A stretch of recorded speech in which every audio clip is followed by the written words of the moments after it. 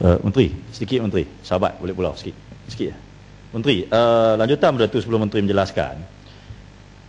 Pembangunan ni, development ni, ialah satu, dua perkara yang fizikal dan juga penggunaan manusia. Seperti dikatakan oleh rakan tadi. Tapi soalan saya, Mak Menteri, saya tadi membahas sikit.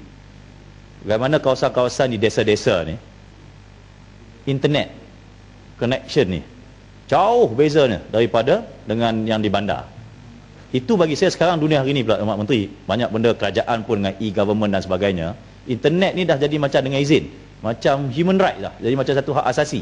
Maksudnya kalau tak ada kemudahan internet nak dapat maklumat kerajaan pun susah nak berurusan dengan bank-bank dan sebagainya. Dan saya rasa mungkin uh, kementerian uh, kementerian uh, pembangunan uh, uh, luar bandar ini perlu melihat bahawa agenda uh, pembangunan ICT ini mungkin satu perkara yang perlu ditekan kerana ianya lebih mudah daripada kemudahan infra-infra yang bersifat uh, fizikal yang lebih lebih besar. Saya rasa mungkin itu perlu dipertimbangkan terutama di dalam menyantuni kawasan 2020 ni ke.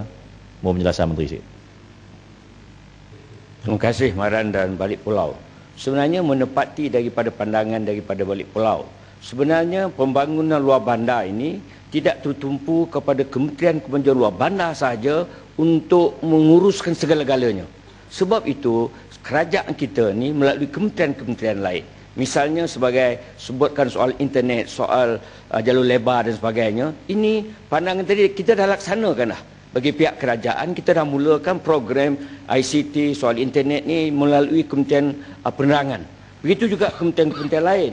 Misalnya pihak JKR kalau jalan-jalan besar di kawasan luar bandar ini JKR punya punya punya tanggungjawab begitu juga kalau soal dalam pertanian khusus pertanian kementerian pertanian dan sebagainya. Sebab itu kita lihat maksud saya tadi maknanya uh, pembangunan di luar bandar ini uh, terpanggil kepada semua kementerian-kementerian pelajaran pertanian kementerian peladangan kementerian pelancongan kooperasi dan sebagainya. Semuanya ni agak ras itu tapi khusus untuk kementerian kemajuan luar bandar ah, ini yang saya nak ulaskan satu demi satu dengan izin macam sebut tadi internet semuanya tu. Kita buat juga melalui sikit yang kecil-kecil tapi yang yang khususnya ialah daripada misalnya daripada Kementerian uh, Penerangan dan Komunikasi dengan jalur lebarnya dan sebagainya. Itu boleh kita uh, rujuk kepada pihak uh, menteri berkenaan.